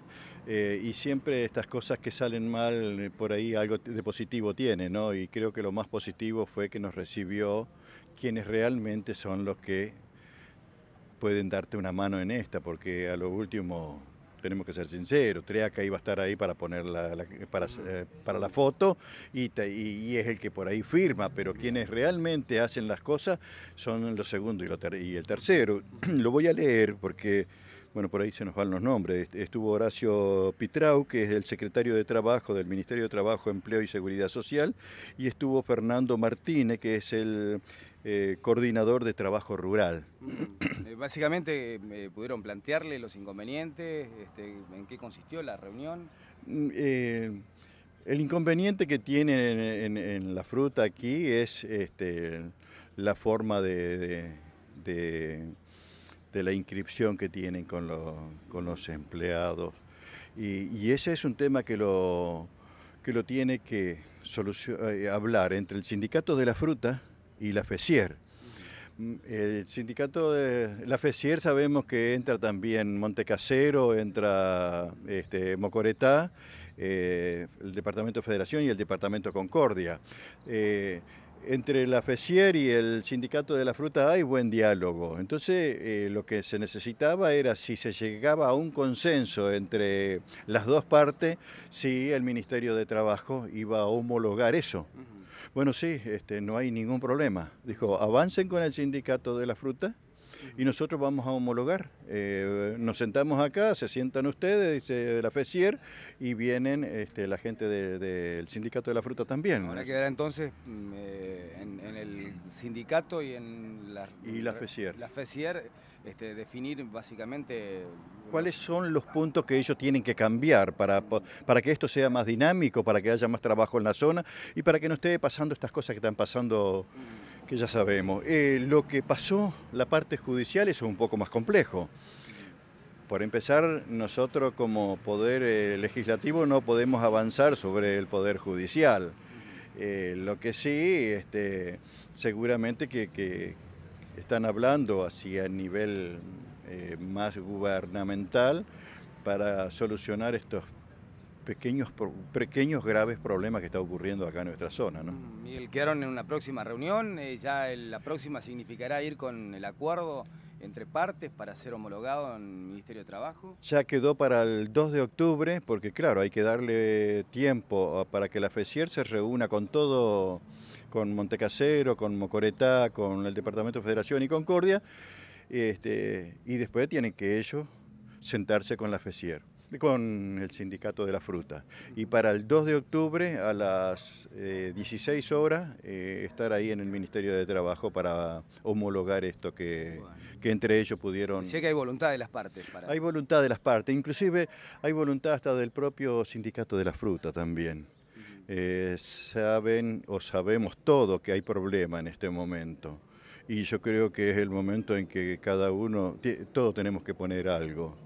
Por supuesto que en estas crisis siempre el que sale más perjudicado es el de abajo. Por eso hay que ser un poquito equilibrado y, y no todo para mí y nada para el otro hay que tener cuidado en ese sentido. Miguel, eh, este era uno de los temas que mm, llevaron a que los productores se manifestaran. Eh, eh, ¿Pudieron hablar con los productores autoconvocados respecto de las otras demandas?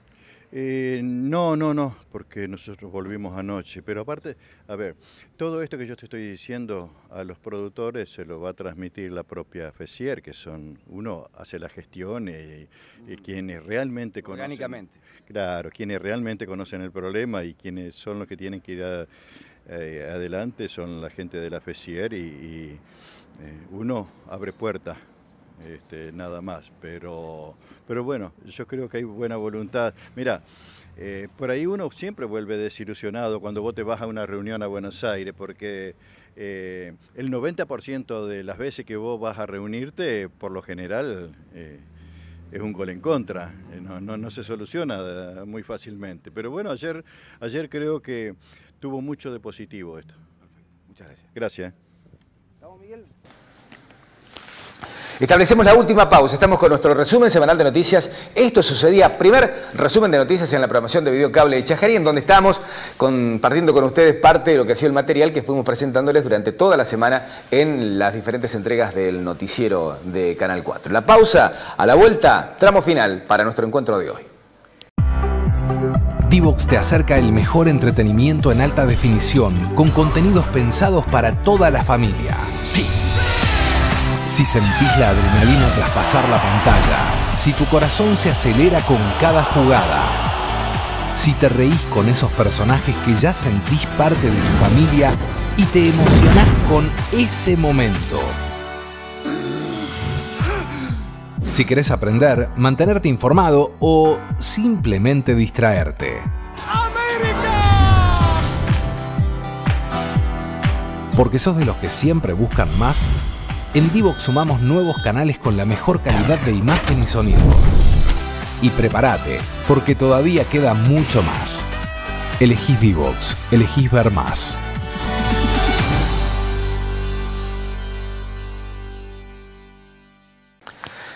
Bien, regresamos de la pausa, tramo final para Esto Sucedía, el primer resumen de noticias en la promoción de Videocable Chajarí. Rápidamente vamos a compartir una entrevista que tenemos oportunidad de realizar el jueves de esta semana, porque se llevó a cabo un nuevo paro docente, en este caso respondiendo a una determinación tomada por la Confederación de Trabajadores de la Educación de la República Argentina, CETERA. ACMER pertenece a CETERA y en consecuencia se adhirió a esta medida de fuerza que se cumplió con singular este, adhesión aquí en nuestro medio. Luz Bellorini, referente de ACMER Federación, sobre este tema nos brindaba algunas precisiones. Esto sucedía el jueves en Canal 4. Desde el gremio, ¿qué es lo que va a pasar? ¿Qué tal? ¿Cómo te va? Hola, hola, buen día.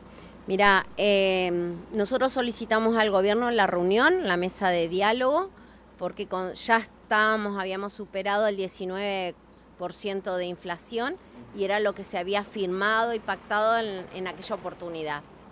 Eh, superado los 10 días, por eso tuvimos paro, porque el gobierno no, no estuvo dentro de lo que había firmado, de lo pactado, así que nosotros realizamos paro y nos convocaron para el 13 de septiembre.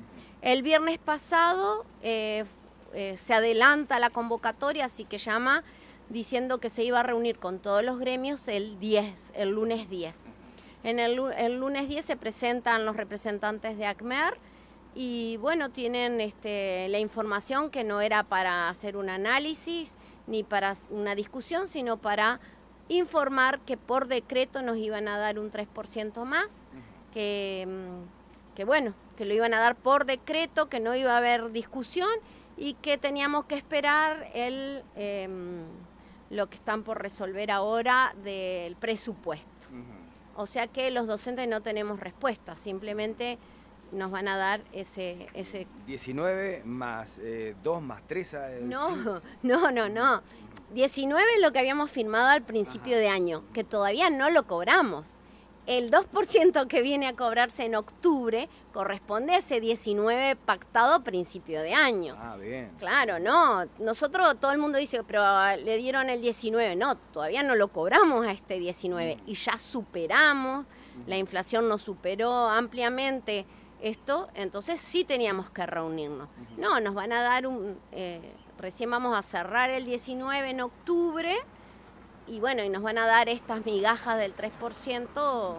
De... Luz, y ustedes, este, al no haber eh, convocatoria en su momento a reabrir la mesa eh, paritaria, habían establecido por Congreso dos jornadas No. de paro. Sí. ¿Qué sucedió o qué va a suceder con esto? Bueno, se estableció las dos jornadas de paro, las cuales se concretaron, fueron ampliamente, podemos decir, acatadas, ¿no? Los docentes eh, aceptaron esto, era lo que habían propuesto ellos aparte, el Departamento de Federación había llevado paro.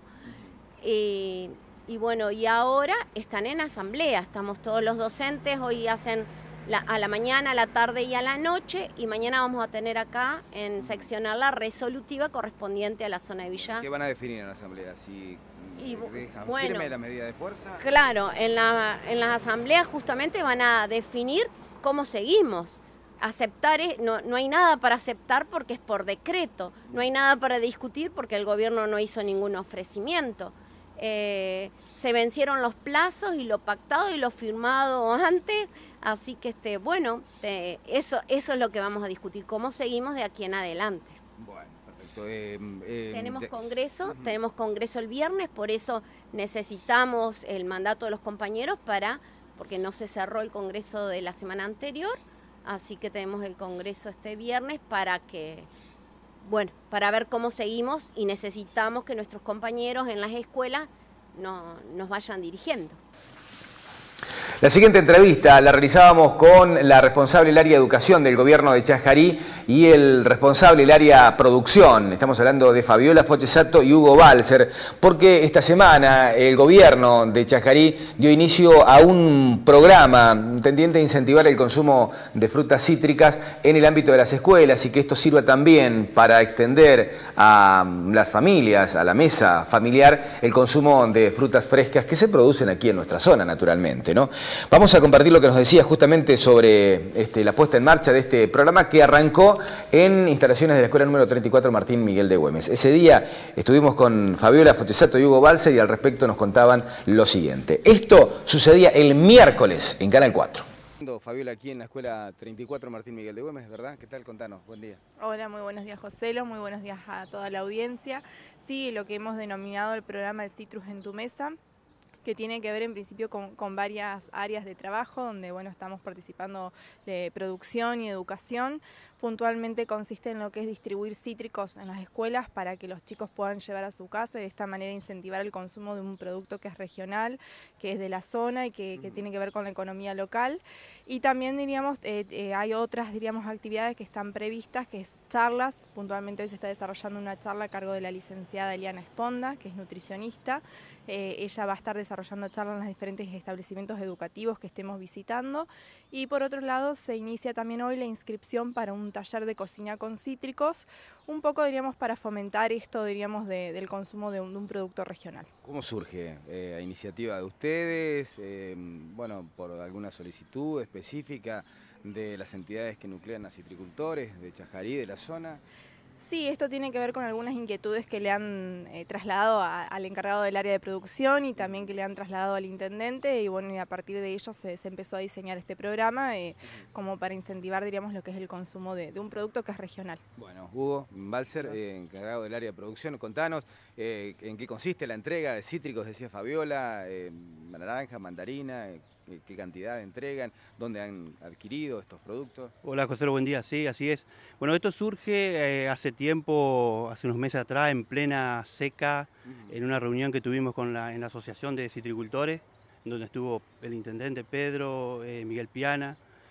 Y bueno, la idea surgió un poco de, dar difusión como una, ayuda a los productores, aunque no lo es en realidad mucho para en nuestra zona, pero dar, hacer promoción del citrus en las escuelas eh, teniendo en cuenta que los chicos por ahí son los que mejor transmiten eh, o llevan la información directamente a los padres. Exactamente. Eh, bueno, surgió eso, la idea era adquirir citrus de los productores, a algunos empacadores y distribuirlas en, las escuelas. Lo que se hizo un trabajo de hormiga, digamos. Exactamente. Claro, exactamente, porque es, decir, se, produce y se la, se la, manda más allá que nosotros tenemos conocimiento prácticamente toda la ciudad del citrus. La idea es eh, hacerlo en Chajarí y tratar de replicarlos en las diferentes localidades, es decir, de Entre Ríos. Tratar de tomar contacto con las diferentes direcciones de producción, educación y tratar de, replicarlo en otros lugares. ¿Y cómo se produce la entrega propiamente dicha eh, del citrus? Eh, ¿En bolsitas? En, bueno, cada chico lleva lo que quiere, ustedes le dan una determinada cantidad de fruta. Eh, así es, eh, nosotros buscamos el, bin del, empaque, lo, envasamos, eh, aproximadamente ponemos 4 o 5 naranjas, algunas mandarinas, como para que sea un poco surtido.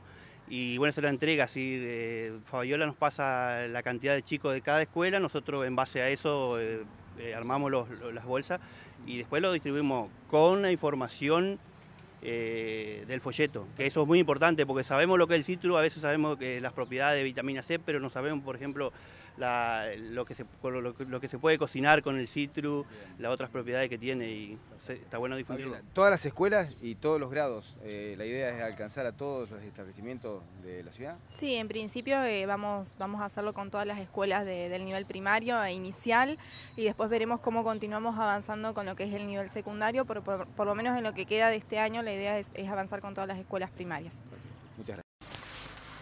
La siguiente entrevista la realizábamos con eh, Martín Rigoni en su carácter de supervisor de área del Censo Nacional Agropecuario que arranca eh, la próxima semana en nuestro país. La intención por parte del INDEC, del gobierno nacional, de relevar datos vinculados a la producción en todo el país. No hubo mucha información, mucha difusión publicitaria respecto a los alcances de este censo, de la manera en que se va a trabajar y demás. Nos pareció oportuno entrevistar a Martín Rigoni, que trabaja en la coordinación como supervisor de este Censo Nacional Agropecuario, que, insisto, arranca eh, la próxima semana en todo nuestro país. Nos daba detalles justamente sobre una capacitación que estaban realizando a quienes van a trabajar como censistas en nuestra zona. Esto sucedía el miércoles en Canal 4. Eh, se está llevando a cabo una capacitación para lo que es censistas, supervisores, eh, la está llevando a cabo el jefe de, zona, que en este caso es el ingeniero Franco Pesini. Eh, a su vez somos seis supervisores eh, de, zonas y con seis censistas por, segmento, digamos. Bueno, contanos, ¿el Censo Nacional Agropecuario cuándo se va a llevar a cabo? ¿Qué, tipo de información pretende relevar? Eh, el censo arranca eh, ahora el 15 de septiembre. Eh, se está arrancando con, con la difusión y va apunta más que nada a lo productivo. Hay un se quiere obtener una base de datos de, de todo lo que lo que sea producción, maquinaria, forma de trabajo, bien, bien bastante completo, digamos. Digamos, parecido al censo poblacional, pero básicamente relevando información vinculada a la actividad agropecuaria. Sí, sí. Eh, el último censo se realizó en el 2008, eh, donde no, no hubo, no hubo un buen funcionamiento en ese momento, por todos los problemas que acarreaba el, el INDEC. Eh, fue justo el, el año del- de la- los problemas del Estado con el campo, así que, que los datos que se obtuvieron no, no, fueron, no fueron los esperados. Eh, hoy en día se trabaja eh, con, con datos relevados en el 2002, así que estamos un poco desactualizados. Eh, la idea de este censo es actualizar todos esos datos y, como te dije en un, en un momento, eh, trabajar con una, una base de datos. Martín, entenderás que esto genera en la- los productores básicamente algún temor por entrecruzamiento de información con órganos recaudatorios y demás. Este, ¿Qué se le dice? ¿Qué, ¿Cuál es digamos, la explicación que ustedes dan a todo esto? No, eso, eh, que la gente se quede tranquila, que nada más es... No, no hay cruzamiento de datos, eso es, esto queda en INDEC. Eh, los datos que, que se relevan, si bien se trabaja con, con nombres, digamos, tenemos un registro de, Hay que hacer un barrido completo, pero lo que, lo que se eleva, digamos, no es el nombre del productor, eh, sino eh, todo, lo que, todo lo relacionado a la, a la producción, básicamente. Eh, es de carácter obligatorio, se va a emitir un certificado para, para los productores, esto va a ser requerido en el caso de, de algún trámite bancario, no, no, no estoy bien seguro si Senasa también lo va a pedir, eh, pero que se quede tranquila la gente que... que ¿Lo puede responder el propio productor? Eh, ¿Lo tiene que responder un profesional, llámese contador, abogado? No, la gente que, que esté a cargo, digamos, de la propiedad. eh, sí, tiene que ser, eh, estar capacitada nada más, eh, conocer, conocer bien lo que se hace en, en cada propiedad. Eh, preferiblemente sí, que sea el, el dueño de, de la finca, eh, pero si hay un, un profesional que, eh, que esté capacitado, algún capataz, que también que tenga conocimiento, eh, lo puede hacer tranquilamente. Abarca todo tipo de producción, todo tipo, digamos, desde la citricultura a la ganadería, pasando por todo lo demás. Sí, sí, eh, todo, forestación, todo lo, que es actividad primaria. Eh, quedan afuera, digamos, aserradero, empaque, fábrica, eso queda todo ¿Y afuera. cómo será este, un grupo de, de censistas los que están capacitando hoy? ¿Irán finca por finca? ¿Se van a distribuir en- de acuerdo a las zonas? Sí, sí, eh, preferentemente eh, se eligieron eh, gente de la zona que conozcan, bueno, los supervisores somos de acá de la zona, yo soy supervisor de, de una gran área de Chajarí, Villa Rosario, Santana y una parte de Federación. Y bueno, y los censistas sí, son, de, son todos acá de la zona, que ya, ya hay algunos casos que ya han trabajado en, en censos anteriores. Están todos identificados, sí. Sí, sí, sí, sí, sí, van, van a ir con una identificación. eh, eso, que la gente, lo vuelvo a repetir, que se quede tranquilo. ¿Está definido en qué horario van a trabajar a la mañana, van a trabajar a la Eh, tarde? bueno, eso, esta semana eh, la idea de, de los supervisores, digamos, es reunirnos con cada grupo de censistas y coordinar eso, que no caigan a cualquier hora, digamos. Eh, la idea es eh, conseguir la mayor cantidad de números de teléfono, eh, arreglar el- la visita, digamos, que no, que no sea de sorpresa, digamos, que la gente esté preparada. ¿Informarán por, dónde, por qué zona van a ir, así como el tema de la vacunación? ¿O, o la gente tendrá que tener, a partir del 15 tendrá que estar preparada porque en cualquier momento puede caer el censista? No, eso directamente lo coordina el, el- ¿cómo es? Lo coordinamos con los eh, con los, los censistas. Lo va a coordinar el censista con el con el productor. Eh, como la idea es que, como te dije antes, que no caigan de sorpresa eh, sino que sea algo coordinado y que le sirva a todo. Bueno, Martín, insistir entonces que esto no es vinculante para el No, no, conocimiento de la gente, eh, que no genere preocupación porque estén relevando datos que por ahí ellos no lo han declarado y demás. Para nada, para nada. La idea es eh, que haya un relevamiento territorial. eh, esto es nacional, así que va a servir como, como base de datos eh, para, para el futuro, digamos. ¿Algo más que quieras agregar? No, nada. eh, cualquier cosa a disposición. eh, digamos, si hay algún inconveniente con, con alguien, digamos, que no quiera efectuar datos, lo, lo que, lo que sea, se comunican conmigo. ¿Es obligatorio? Sí, sí, lo vuelvo a repetir, es obligatorio. Eh, no se le va... No lo van a meter preso por... No, no, no, eh, totalmente. Pero, Pero sirve, digamos, para que el, el Estado tenga información para después de alguna manera establecer las políticas en materia Sí, sí, sí. agropecuaria. Sí, sí, sí, totalmente. Eh, lo vuelvo a repetir, eh, ante cualquier duda se comunican con, conmigo con, o con los supervisores o con el jefe de área, que lo vuelvo a repetir, es Franco Pesini. Eh, vamos a estar a total disposición para, para lo que sea. La siguiente entrevista la realizábamos con el delegado del Ministerio de Trabajo en nuestra zona, Miguel Ángel Cachito Cardoso, porque sabido es, eh, hay preocupación en algunos sectores por la situación laboral, el cierre de algunos eh, emprendimientos, algunos comercios, de algunas empresas, ha generado, bueno, incertidumbre eh, sobre eh, el impacto que esto está teniendo básicamente en la cuestión laboral en nuestro medio. Nos pareció oportuno eh, buscar referentes y en este caso el referente es eh, quien está a cargo básicamente de la delegación del Ministerio de Trabajo en nuestro departamento que nos daba su opinión y algunas precisiones al respecto. Esto sucedía el jueves aquí en Canal 4. El momento actual se habla eh, de, bueno, de algunas empresas por ahí que, que, mm, avanzan en la reducción de personal. Esto está sucediendo en Chajarí. ¿Cuál es el panorama que nos puede contar al respecto? ¿Qué tal? Buen día. Buenos días eh, de- a ustedes, los televidentes. Eh, la verdad que sí, el panorama acá es, como yo digo, es desesperante, ¿viste? Para el trabajador. Porque están quedando muchos trabajadores este, sin su fuente laboral y bueno, y con todo lo que ello implica, ¿viste? La falta de pago de servicios y la falta de llevar el sustento a sus familias.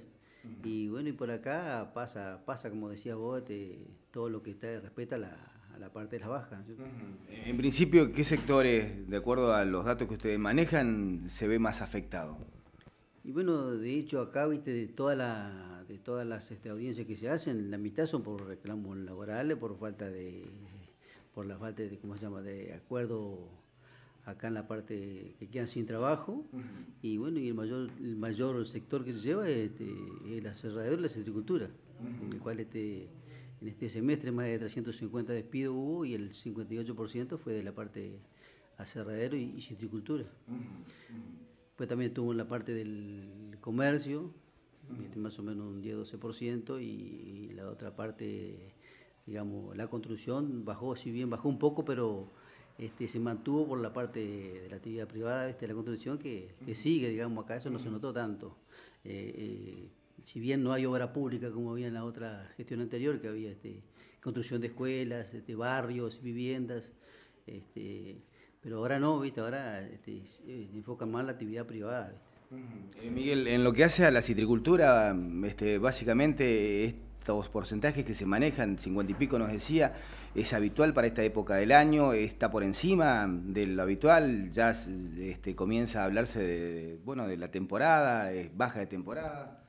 Y no, eh, no escapa, digamos, la realidad zonal que tenemos nosotros acá en la parte de, de nuestra zona, que es la citricultura y son los aserraderos, digamos, no, no- no escapa a la, a la realidad nacional, ¿viste? con la suba de los impuestos, la suba de los servicios, la quita de subsidios, las tarifas eléctricas, este, el aumento de los alquileres, todo incide. Entonces, este, se trata de bajar costos despidiendo la parte... Pero en el citrus específicamente, Miguel, eh, eh, habitualmente en septiembre, ¿es una temporada de, de- de contratación, de bajas? Y una temporada que generalmente estaba estable, pero viste acá en la zona vos sabés que hay muchos galpones de paque que no abrieron. Este estallido también incide, eh, digamos, y ahora se va llegando el fin de zafra de esta parte y viene la época del arándano que también puede contener un poco más de, de gente que queda sin trabajo. Bueno, esa es la expectativa que más o menos tienen algunos trabajadores que, con los cuales nosotros charlamos, ¿viste? Pero eh, la realidad digo, es alarmante y, y, como digo yo, desesperante para, para los trabajadores y también para, la- para los productores. ¿no? Bueno, en cuanto al mercado exportador, ¿cómo se ha manejado? Bueno, creo que esa parte ha, ha- ha sido beneficiada, digamos, este, en algunas cosas, porque también en, en algún tiempo que ha sido afectada por el tema del cambio, la retención. Pero lo laboral específicamente. La parte laboral no se mantuvo, esa, esa gente, digamos, que tiene la parte de exportación, eh, se, se mantiene, ¿no es cierto? Este, pero bueno, nosotros vamos a- al- al chico y mediano, que es el más afectado, digamos, en la parte este, que, que, hay despidos. ¿En comercio? El comercio más o menos un 9-10%, eh, este, también ha, sentido- ha sido afectado, ¿viste? ¿Este nuevo 10% es permanente? ¿Se ha profundizado, digamos, respecto de los que son, fueron las estadísticas históricas? Y a partir de abril de este año se ha venido, este, se ha venido aumentando, ¿viste? porque esto no escapa a, a todos los aumentos que hemos tenido, de, como te dije hoy, de los servicios, impuestos, la quita de subsidios, las tarifas, todo ese tipo de cosas va incidiendo. Entonces, o deciden achicar alguna sucursal, cerrar sucursales, o este, despedir a la gente, o en este caso, como hemos tenido con algunas fábricas eh, cítricas, eh, reducción de, de jornadas laborales. O sea, reducen a la mitad las jornadas laborales y con lo que eso implica la, la- la rebaja de sueldo. Pero con eso este, buscan la vuelta o nosotros tratamos de que no despidan a- a- al personal.